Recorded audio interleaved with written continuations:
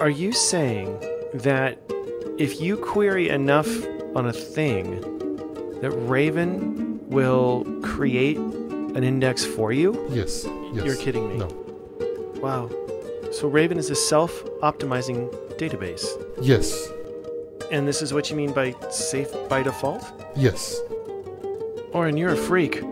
I know. The database already have all of that information. It's know what what is in the database. It know what query you're making. Why shouldn't it optimize itself for you?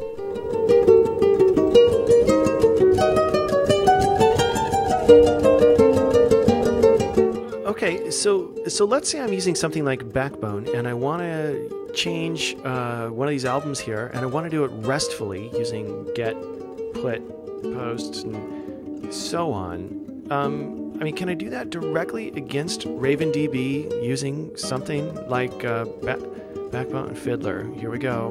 Let's see how. So, okay. Did, did you just create a document collection on the fly? Yeah, sure. I mean, uh, you want, I can show it to you like uh, doc slash user slash rob.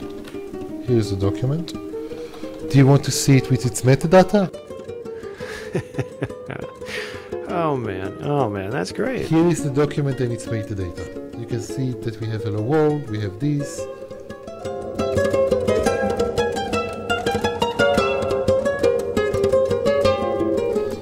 Okay, you follow what's going on? Yeah, you're pulling out a range based on the passed in count, and then you're doing a select. Right, you're doing a select n plus one based on the count coming in. Okay, interesting. So what? Uh, this you're trying to show a select n plus one problem with Raven. Mm-hmm. So let's say count of ten. We don't we don't have those values. Let's say count of Okay, twenty. so, so it's pulling back ten records, but they're just null. You've got a kill switch for select n plus one.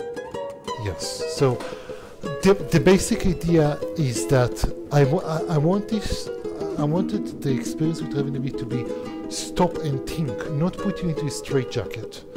So most of the thing that we're talking about is this is a common problem. Let's stop it on its track before you get into a problem. And then then if you actually have a really good reason why you want to do that, you can do that, but you know the risks.